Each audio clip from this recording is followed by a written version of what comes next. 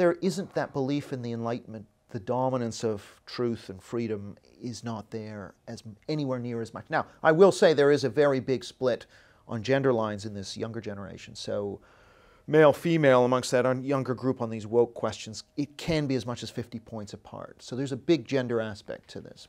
What? So the m- men are more. Uh... A lot less woke. Uh, young men are a lot less woke than young women. For the wrong to rule, the good must just stand idly by. Hello, happy Sunday. I've got cold, or maybe I've got Omicron, Omicron, whichever one it is. Anyway, uh, you know the culture wars, those things that apparently don't exist? Well, they do, as we know on this channel, and we like to talk about them. So I am very lucky to be joined by Eric Kaufmann, author of two recent reports for the Policy Exchange on the culture wars. Uh, Eric, thank you for coming. How are you doing? Great to be here. Doing doing very well, thanks. Good. Um, I was looking through. I came across this because of a Twitter thread that I saw of you posting polling about kids and uh, well intergenerational attitudes towards um, cultural stuff. So can you tell me a bit about um, the reports themselves? Yeah, well, definitely. I mean, the first thing to note is that you know you will get people, particularly on the left, who say this is a right-wing moral panic. Yeah, there may be the odd school, like the American school in London, that has this stuff, but really, we're not teaching this. Critical race theory is not being taught. Uh, actually, what this survey, which is a representative draw from uh, 18 to 20 year olds in this country, we asked them what they were taught at school. Turns out, uh, six in 10 of them were taught concepts from critical race theory. So one of white privilege, systemic racism, or unconscious bias. And if we add a couple of gender concepts, patriarchy and the idea of many genders, it's up to 73%. Um, not only that, it's actually rising as you go down the age range. So 18 year olds, it's 78%. Whereas the sort of 20 year olds who were in school three years ago, it's lower. It's like 65 or something. So it's still rising and it's the majority. And so this is not something that's just a few isolated incidents. Yeah, so people would just have you convinced, people would have you convinced it's an isolated incident, but it's yeah. not. It's getting worse, but it's not. I've not met uh, any member of the public who likes any of this stuff. So where's the disparity there? Yeah, I, and indeed, I mean, you can see in our reports we polled the public, and it's something like 70% against most of these things and 30% in favor. Um, and so, yeah, the public's against this, but they're not aware of the extent to which, because even as a parent, I mean, I wasn't really aware of all the, the, teaching materials that are used, and those things aren't necessarily released to parents anyway. So not unless you ask for them. No, and even if you do ask for them, they might refuse you. They don't. They don't actually have to give them to you, which is something that needs changing. We are changing it. The Bad Law Project's changing that. We're, uh, we are getting around the GDPR issue that they're trying to ah. claim is a problem for them. So we have uh, children being indoctrinated in schools with the idea of critical race theory, which essentially is, um, you know, how does one break critical race theory down really easily, which is just racism to replace bad race, uh, good well, racism. Well, yeah, it's basically like any disparity uh, between racial groups on income can only be explained as a result of racism, and if you can't find the racist, then it must just be this loose amorphous structure which you can't see, you can't measure, you can't test, but you know, trust me, it's there. It's systemic. Uh, yeah, it's, it's like the Matrix. You know, if you're in it, it's affecting you. You just don't know it. Yeah. Uh, but there's no way of proving it. Uh, yeah. So this this kind of zombie theory is is really what's being pushed. Now, these concepts, of course, what some people will say is, well, well this is not actually critical race theory because it's not the high theorists like Derek Bell or, or Kimberlé Crenshaw, but actually, the reality is these concepts are derivative of the same theory that, that there can be racism without actual racists is kind of the argument. Um, yeah, it's ghost hunting. Yeah, it's, yeah. It's, it's bonkers. Yeah. But it's, um, to be cynical about it, the reason why it's getting younger and younger and younger is because kids' minds are much easier to manipulate and they're, they're malleable, they're thinking, aren't they? So if you can get these Marxist ideas into their heads young, you can change the entire generation. But well, yeah, I mean, and I think they're getting a lot of it from social media and celebrities and all that stuff. Yeah, so that's why, the main. Why is celebrities into all of this stuff? Well, because it's the sort of that's the highest value in the culture. It's something that's been building for since the 1960s. So it's ascendant in the culture. So they just want to be with what are the most highest prestige values uh, in the society. What without thinking? Yeah, yeah. I mean, I think there's always a, celebrities and artists are meant to think. Yeah. They're meant to be the thing that holds the mirror up to nature and go, look at the world you live in. It's not, you know, this is where the lies are and all that sort of stuff. But actually, they're just, they are the culture. They're not countercultural at all. Celebrities No. and these ki- these kids think that this is radical revolutionary stuff. It's just boring, monotonous indoctrination of children. Yeah, well, but they managed to sort of preserve this frame like we were back in the 1920s, where the establishment is somehow conservative and nationalist and whatever, and we're the, the true rebels. The reality, of course, as you know, is that the establishment are, in fact, the people with these, what I call cultural socialist or woke values.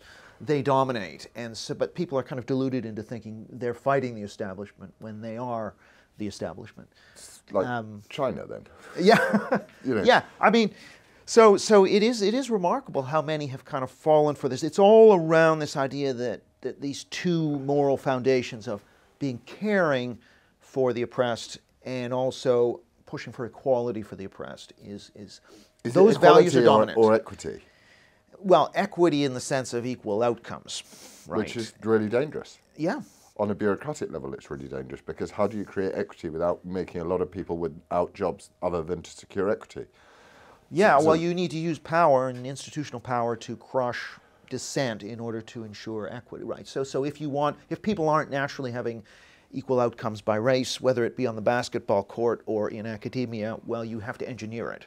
Not on the basketball court, but Well, no, it is on the basketball. It's 100% on the basketball court because, you know, you, as Ben Shapiro quite frequently points out, he wouldn't have a chance in the NBA. Right. Where's his chance in the NBA? You know, it, um, so my theory, or what I I've sort of gathered um, from reading, and you can tell me whether it's rubbish because it probably is, Right. um, is that a lot of this stuff comes out uh, of affirmative action in the first place, which is the only racist laws ever that I can actually see in the West.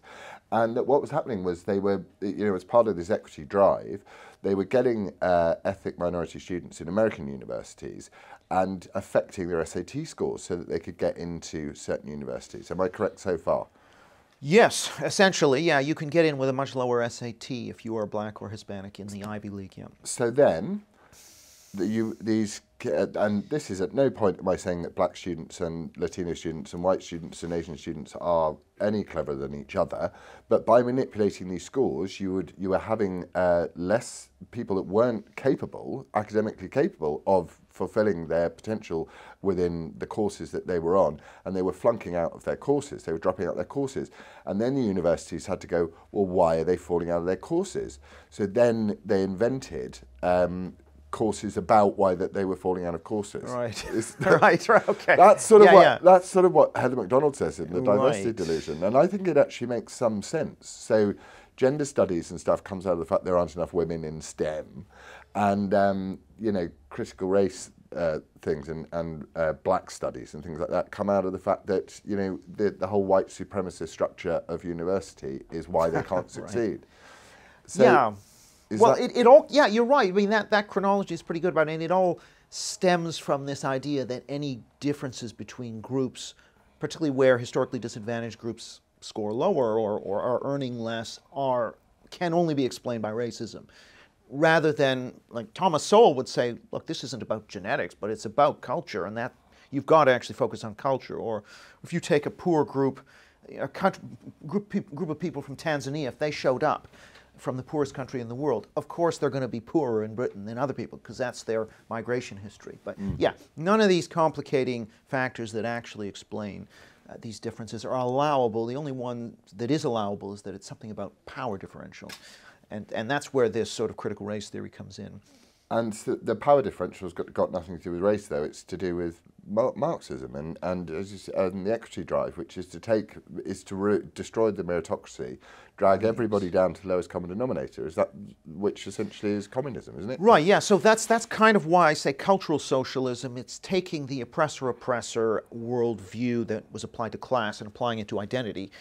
It's taking the redistribution idea that was applied to the proletariat and the bourgeoisie and, and, and transposing that onto racial groups. So any disparity, you must engineer it out of the system through affirmative action, ex- discrimination, etc. So yeah, that is essentially what's occurred. But it's also the other part of this, of course, is uh, hypersensitivity. That, that wasn't there in Marxism as much, this idea that you didn't want to offend uh, the oppressed group. But now that's been sort of, with a therapeutic uh, revolution in the sort of 70s, 80s, what we've now got is anything that offends the most sensitive member of one of these historically marginalized groups, so so-called microaggressions, like saying anyone can make it in Britain, um, that then becomes a taboo. And so you actually trip over the accusation of being a racist just for saying something like that.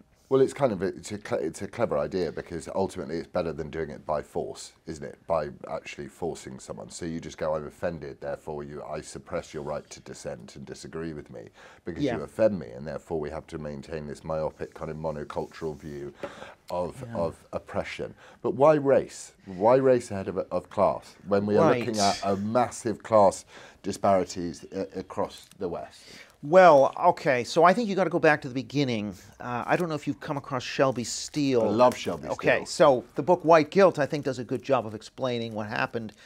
So he sort of says, you know, you, it used to be the case that black people deferred to white people in colonialism or in the Deep South or whatever. Uh, so the whites had the moral authority, and then after the civil rights movement, the, you know, the whites admitted that they did wrong, and suddenly the moral authority went to the to black Americans and away from white Americans, and all of American institutions lost their moral authority.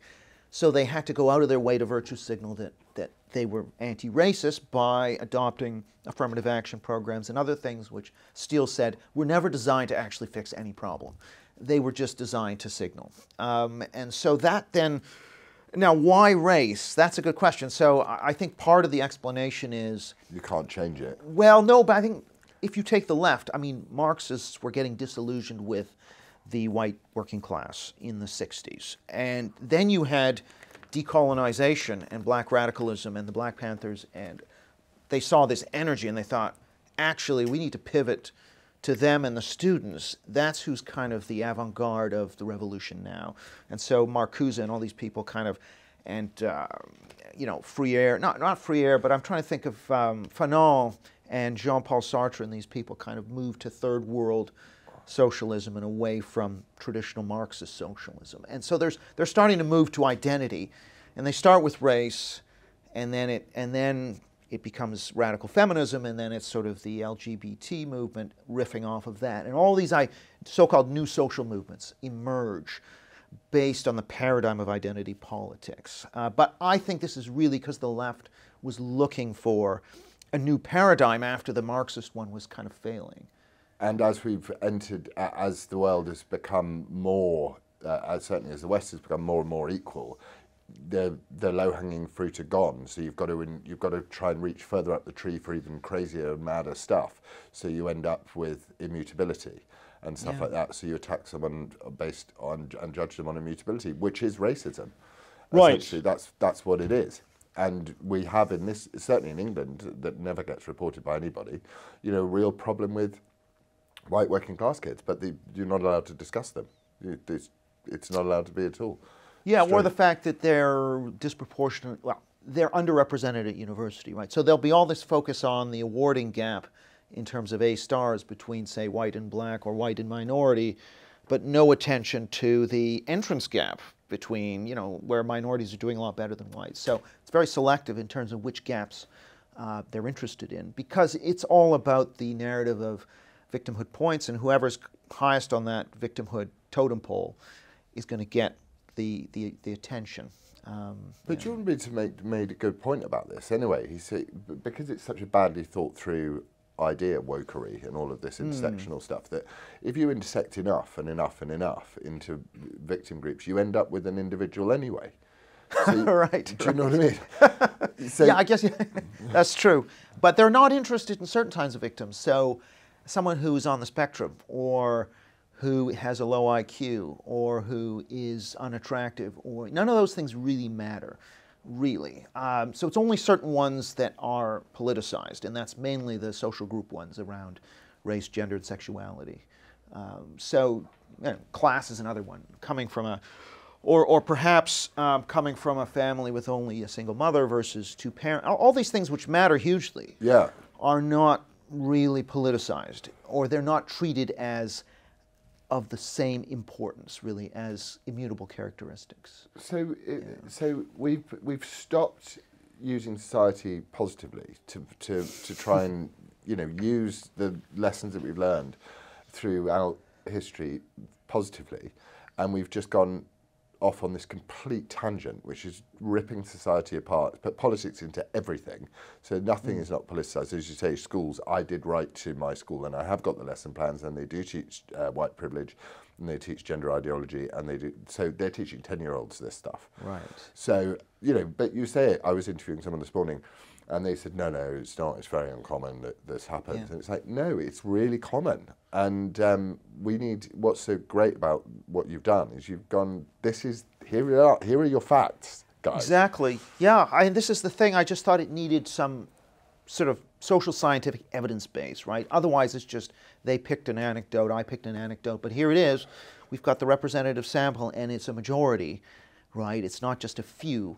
Um, so yeah, I mean, I think this is, and, and part of this is, you know, the curriculum is set by government. You know, there have been periods in, like I'm from Canada, there was a period where you had a conservative government in Ontario. They changed the curriculum so all the kids would learn about the excesses of communism, for example. I mean, you could do that. Or you could say, okay, we're, we can learn about slavery, but we're also going to learn about the Arab slave trade. We're going to learn about the, the Aztecs and Yeah. what people were doing in these colonies before they were colonized. Um, that would actually give you a more rounded picture, so it wouldn't be so sort of slanted. Uh, yeah. Well, in, in my theory of another theory of my life, which I operate on and is yet to be disproved, which is they are the exact thing they accuse you of, um, the left, the hard left, anyway, is um, this idea of decolonisation.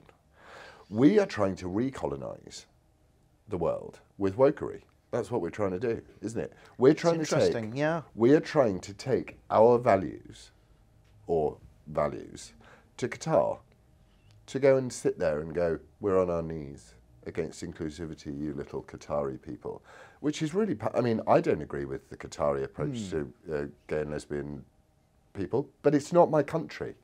So I don't get to choose. We're trying to colonize them with our views. So e- essentially, while they say decolonize the curriculum and decolonize this and your terrible colonial past, they're just starting up a new colonial um, existence, aren't they? Do you think? That is interesting. I mean, I guess it depends what you, you know, I mean, this word colonial is so overused, right? I mean, the, uh, you know, one of the questions, I, I think, you know, you can always advocate for your values. And yes, I would like to see procedural liberalism in Qatar. But the bigger issue is, you know, what do you mean? Like, so I'm an academic and we've got these endless, uh, you know, initiatives to decolonize the curriculum, right? So to introduce, you know, race and gender diversity. And, and um, but of course, the question is, well, they never actually show you how it was colonized. It was just, well, there's a lot of whites and males on there. It must mean that therefore it was colonized. Well, the next logical question is is this a Judaized curriculum and therefore we need some Jewish quotas, right? Because Jews are heavily overrepresented on, on most reading lists. Uh, certainly on the reading list I use, they're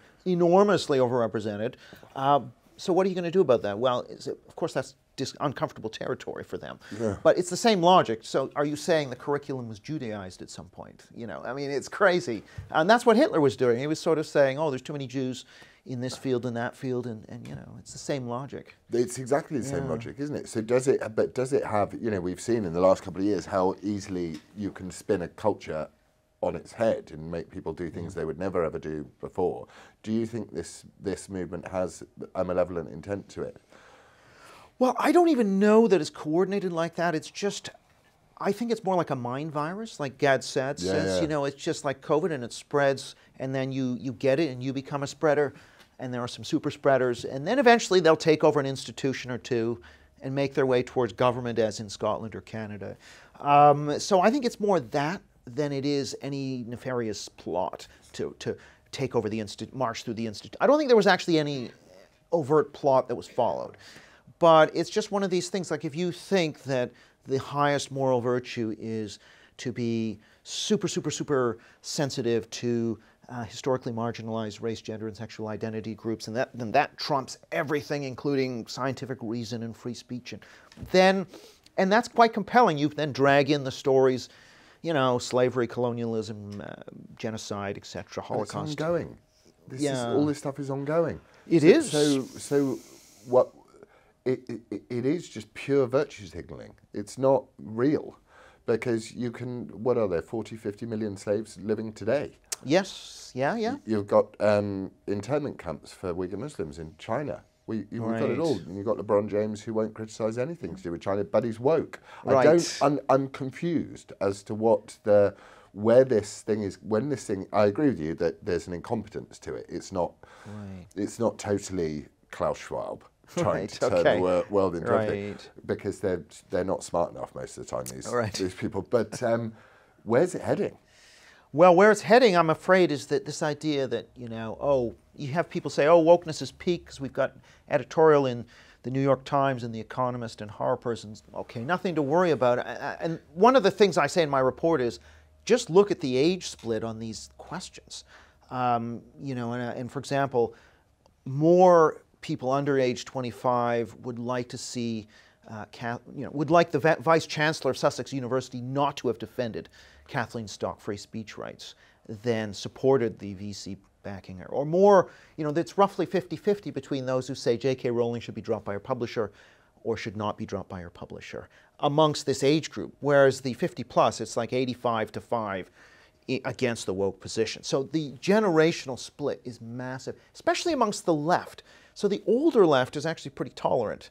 Yeah. And, you know, they'd be pretty in favor of Stock being allowed to speak and Rowling being allowed to write. And Because they, they believed, the, the, the traditional left believed in the, the fact that the working man or the working woman who had all, to be honest, Right. needed free speech to be able to get their point across. That would have been a traditional left wing position, but it's gone. yeah, yeah. So it, but so it's really on the left that you see this big age gap.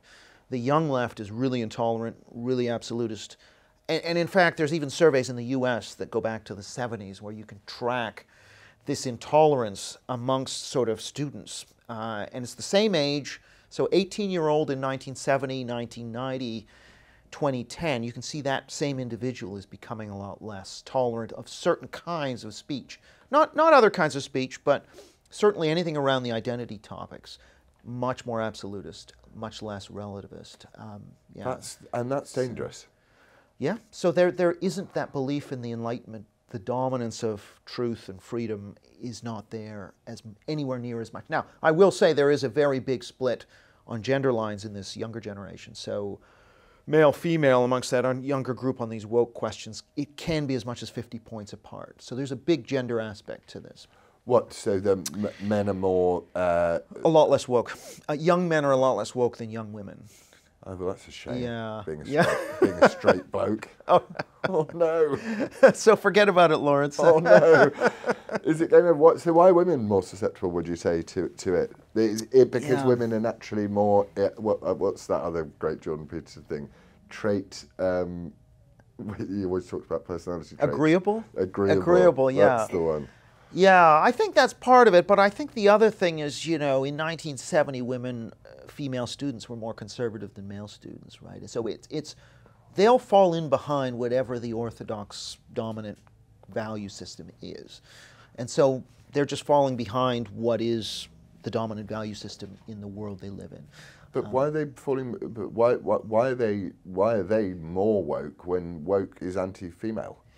Well, no, well, not only are they more woke, but they are, for example, women are more in favor of trans people gaining access to women's shelters than They are? men are. They are.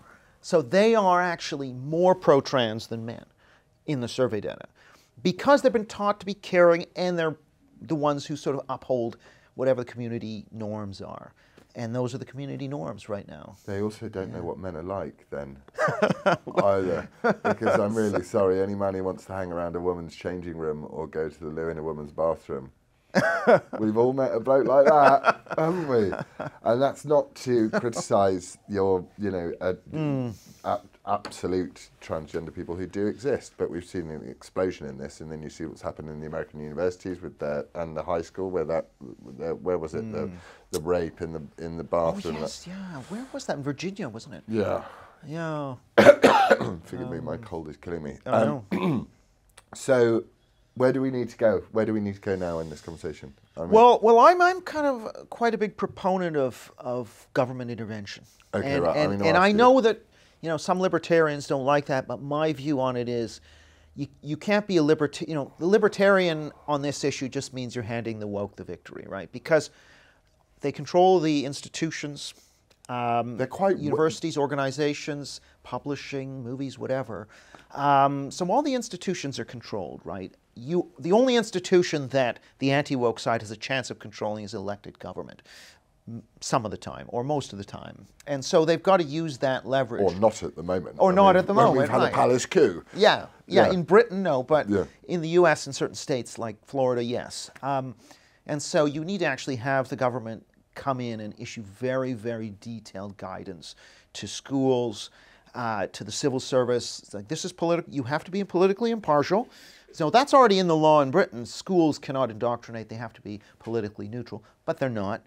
So the, the, what you need to do is two things. One is you need an enforcement mechanism. Uh, two, you need to, to write the guidance that says, actually, this is what political impartiality is. Anti-racism is not, you know, anti-racism is a common value, but it excludes systemic racism. That's got to be written down so that whenever teachers drag this out, right now what they're doing is saying, oh, we're just teaching anti-racism, which is a consensus value. It's not political.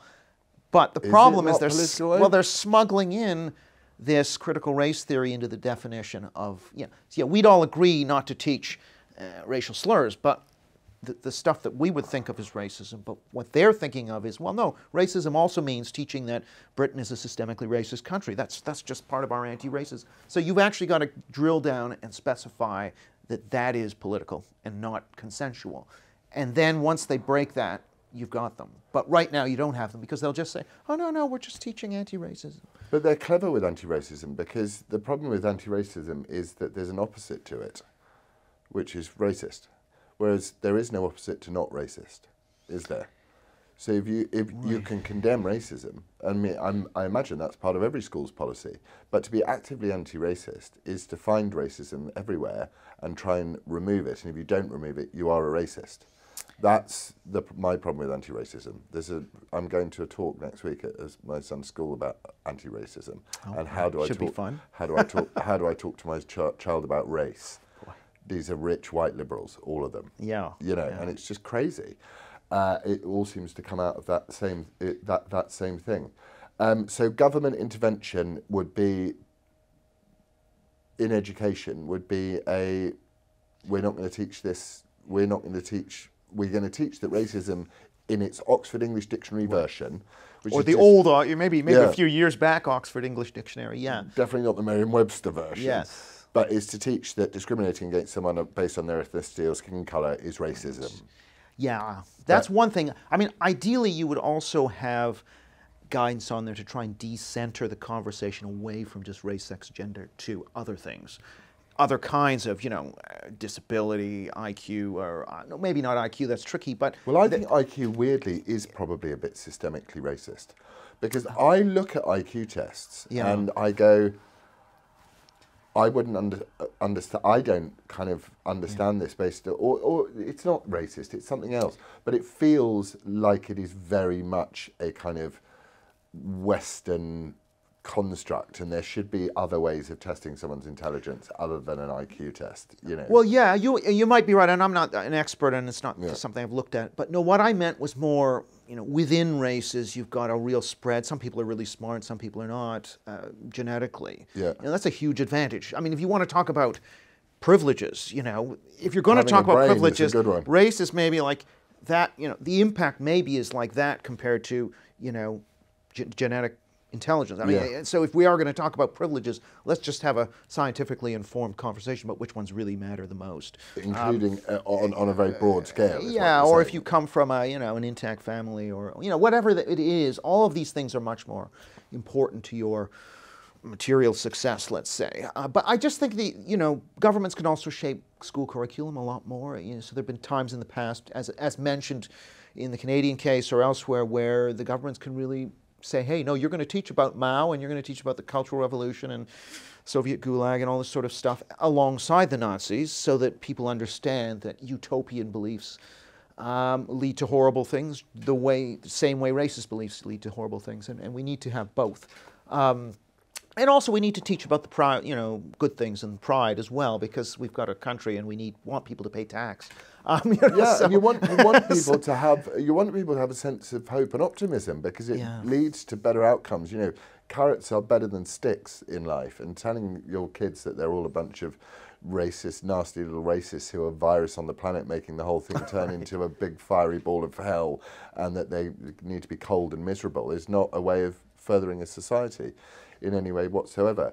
Um, we are doing this thing via called Bad Education at the moment because there's no standardised PSHE curriculum or RSE curriculum in the UK. You alluded to this earlier when you said Right. you can't sometimes get um, the the resources from the school for say what they're teaching in Black History Month or what they teach in PSHE.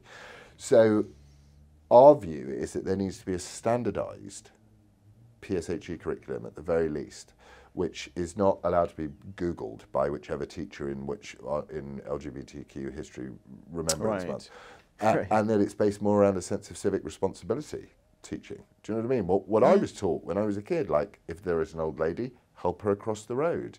Not if there is an old white lady, spit right, at her. right. do you know what I mean? Yeah. It's. It, do you think that would work? I think that's a great idea. Um, uh, you know, alongside curriculum transparency, so you know, having to make your materials and not allowing third-party contractors, you know, say radical gender or, or race groups in uh, who are, aren't willing to have their materials shared. Because right now they're claiming, oh no, those are pro- proprietary. We don't we don't want our competitors to see them, so you can't release them. That's their argument now.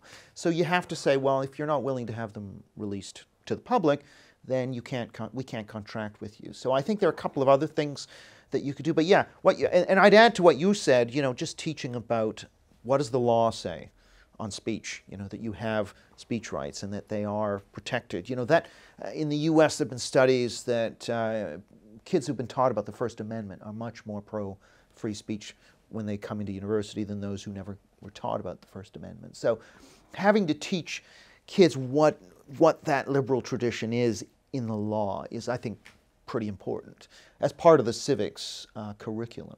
It's crucial because without the free expression, they will they don't have a chance in hell. But we're going to have these blossoming uh, graduate groups coming out of universities who, as you say, are getting more and more and more and more intolerant, and they're going to find their way into the institutions, aren't they? Because Yeah. they're not going to be finding their way into private business, particularly. I mean, they will, but Yes. then but much more they're going to find their employ in the state. Aren't they? And they're going to change the state from within. Well, we're all going, we don't like this. Right. Well, they're also changing large corporations. I mean, I Yeah, think of it's, course it's they are. both. Um, so I'm not sure the private sector's a real haven. Maybe small businesses, but uh, I mean, in the we, Well, they're killing off small businesses, so you know, Oh, all all, right. all you need Okay. to do is take one. I mean, the, COVID killed it. They did their best to kill off small businesses, and now the latest budget, uh, the autumn statement, is even worse for small businesses. There's okay. almost no point in being self-employed, as far as I can gather. Again, caveat: I don't know much about money, but I, I just, you know, Yeah. It, but it's um, it, it's the death of the individual as well, isn't it? The death of that uh, of free speech and the death of the individual, and and the fact that we're going to have to deal with these these bastards. Well, this is it. This this idea that people who say, "Oh, well, it's it's peak because George Floyd moment is over." I mean, this is so naive because you know these younger people, as they become the median voter, right? These are people who believe that if a speaker comes in and if says something I disagree with, they shouldn't be allowed onto campus. I mean, some of those surveys, uh, you know, in the U.S., for example, if you you know something between 70 and 85 percent, if someone comes in and says abortion should be outlawed you know, I don't believe in abortion, that that person should not be allowed onto campus. Now, you can disagree with that, and I would disagree with that, but they don't seem to be making a distinction between disagreeing with someone's beliefs or even being offended uh, and allowing a person to speak, to have a debate. I mean, that there just seems to be very little space between those two ideas. So I think that needs to be taught to them that this is what the law says, this is our tradition, and right now I don't think it's being taught. Yeah, it's not being taught. And why is it not being taught? It's not being taught because, it, again, they are the exact thing that they accuse you of. You know, you talk about the death of the Enlightenment, the death of truth. Hmm. They they know the truth exactly what the truth is. The truth is you shut up, isn't it? Yeah, That's well, it's- it's- it. You, yeah. you're not allowed an view, a view on abortion. I mean, classic. The midterms were classic for this because they knew that all the mail-in ballots were going to come in in the in the period. Uh, there's no no accident they released the findings of the what the Bob's Jobs case, or whatever it's called, the Roe versus anyway, the thing that Oh, yeah, affected yeah, sure. Roe versus Wade, and then they called it they're you know you, that they're going to make abortion illegal, but they didn't make abortion illegal.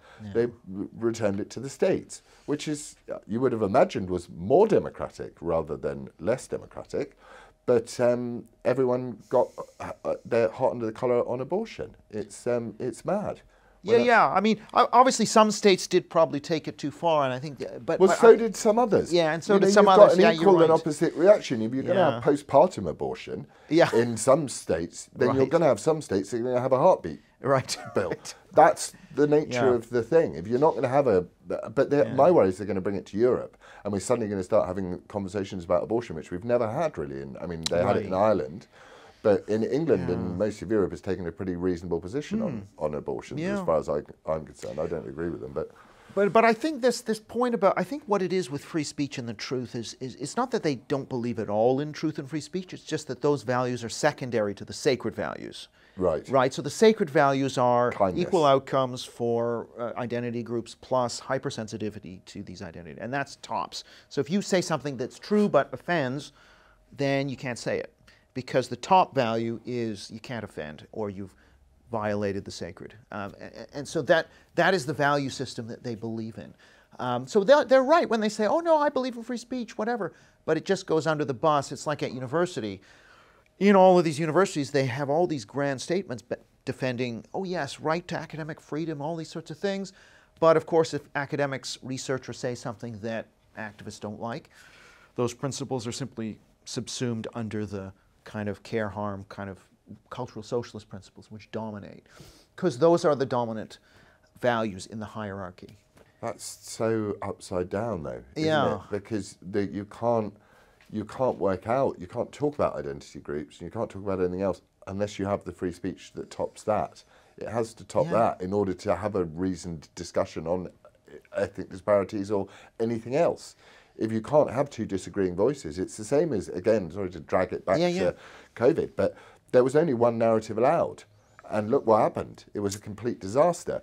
And Yeah. whenever there's only one narrative allowed, it's a complete disaster. So right, right, yeah. Now I'm, I'm sort of, I have a slightly different view on COVID than you do, but I still think it's got to be debated, right? I Yeah, mean, yeah. It has to be an open debate, and and this idea that this will lead to some great harm, well, you know, we accept a certain level. It's like with a speed limit. We do accept that the speed limit isn't going to be zero miles per hour. There are going to be some people killed, but we accept that as a price to have the freedom and, and, and to drive around at a certain speed. So we have to set that speed at whatever level. But I think the COVID thing is, I, I think this is a, something that's in the past now, and I also think it's not as central to the woke religious belief system because the woke belief system is really about these identity groups as sacred totems that you, you cannot offend even the most sensitive member imaginable of these groups or you've committed a sin. Why did they pick such bad martyrs then?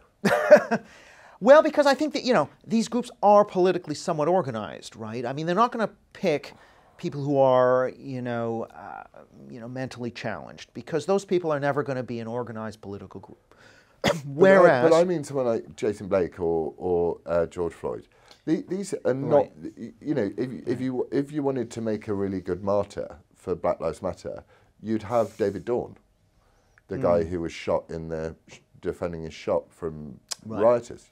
You know, who was a police veteran, so worked in the police force th- 35 years, was killed protecting a shop. That's a martyr. And if we're talking about immutable skin, uh, immutability, he's a black-skinned man, and he was killed. He's a martyr. Why are you turning a guy who's uh, digitally raped his uh, ex-wife, stolen his kids, and has a knife in the car? Why is Joe Biden and Kamala Harris going down to visit this guy? Why are the martyrs so poor? I don't understand. Well, yeah, because it doesn't actually matter the conduct of the individual. It's they're a symbol, uh, and Right. that's what Shelby Steele talks about. He, I mean, he goes back to those early Watts 1960s riots that actually wound up burning down black neighborhoods and impoverishing black neighborhoods and black, you know, ruining black life chances in very large measure. And his argument is, well, actually, these riots are, are very symbolic. They're a performance, and one, so they rarely go into the white wealthy neighborhoods. In fact, they tend to remain in these black neighborhoods and they're damaging black businesses. And one of the reasons, according to Steele, is they're trying to win over well, you know, well-off white liberals in these urban areas to actually to their cause. So they're not going to go and attack their neighborhoods. I mean, this is one of his points. So yeah, it's very much a kind of engineered spectacle performance.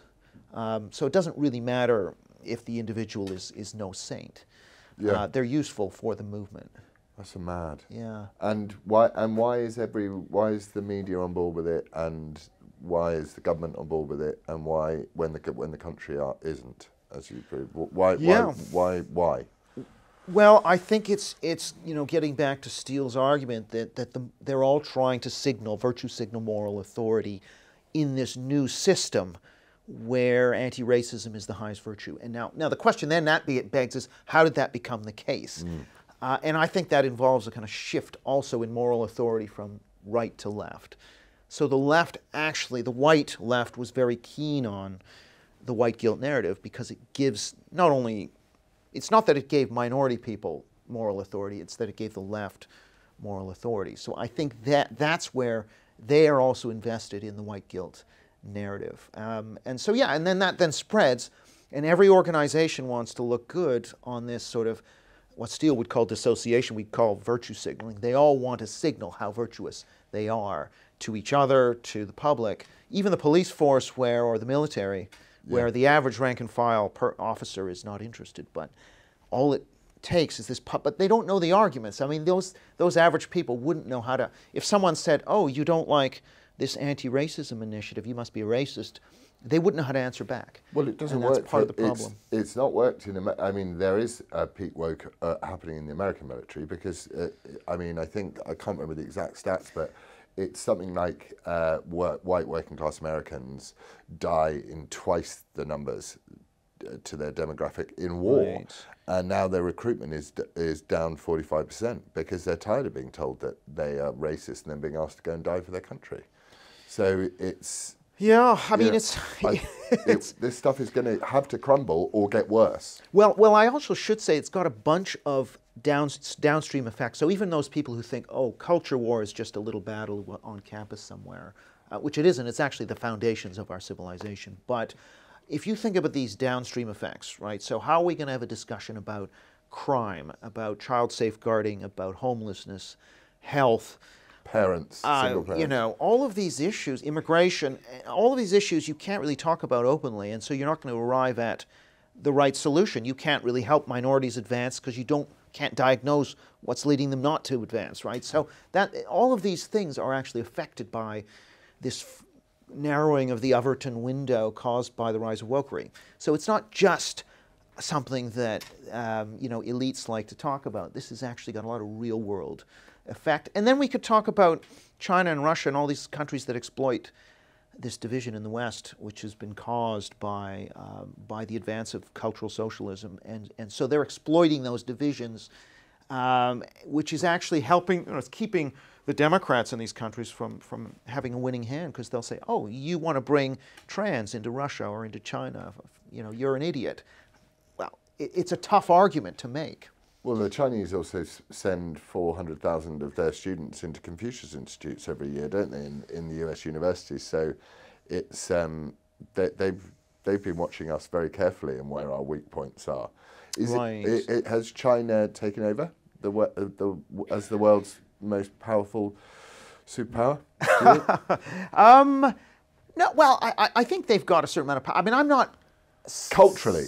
Culturally. I don't think so. I mean, it's it's so they are exploiting Western weakness to prevent reform at home uh, and to shoot down, you know, liberal democracy. But I think that in terms of their power, culturally, I think it's limited because they're not an expansionist power the same way the Soviet Union were. I mean, they're content to be Chinese in China rather than make us all into Chinese. I mean, despite the Confucius Institutes. So I don't think they're actually going to have the soft power. You know, basically, a very few friends in their own region. Most of the other countries hate them. I don't think they have a lot of soft cultural power, no, but certainly they have military power, yeah. and what about your, your Canadian? What about Yeah. uh, Trudeau? Come on. Yeah, I think Canada's sort of in the worst place of, of any of the countries in, in, in many ways because there's there's very little resistance to this woke juggernaut. So you may be aware of something called the residential schools in Canada, which is all about this this claim that there were these mass graves uh, found at a at a sort of school in Western Canada. That led to, you know, 40 Catholic churches being burned, statues being toppled, and Trudeau lowering the Canadian flag to half mast. Now, the reality is there was not a single body found, there were no mass graves. Not only that, I mean, this whole narrative about genocide is a complete fraud. I mean, if you actually dig into the evidence of people, I mean, these, these residential schools were, you know, they were not a good idea, but actually, most Native kids did not attend them, number one.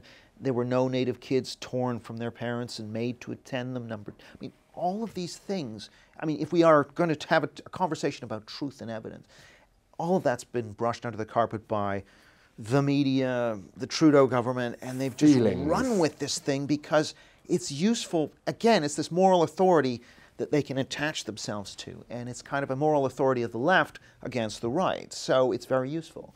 And Um, it's, it's yeah. a moral authority. I suppose in the olden days, this stuff was kept in check by religion.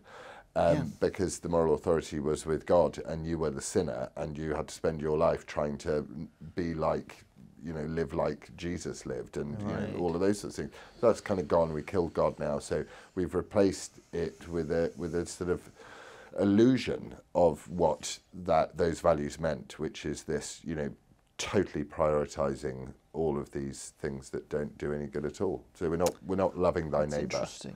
I yeah, yeah. I mean, that is. I mean, I think it's inter- It is very religious. This idea that Yeah. th- th- these are sacred symbols, so African Americans or Native Canadians are, are somehow sacred and cannot be criticized.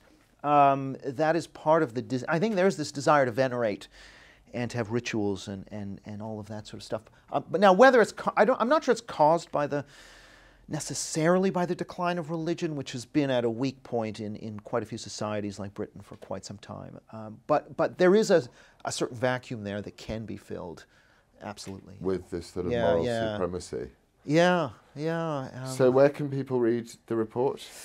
It's all online. Um, if you just Google Policy Exchange uh, Culture Wars, you'll probably find it. Or Policy Exchange in my name, you'll find it. Um, and so, yeah, so those, I mean, I'm, I'm intending to, to get this into a book form, but uh, not just these reports, but, but just to have this talk about cultural socialism, because I think it needs a name.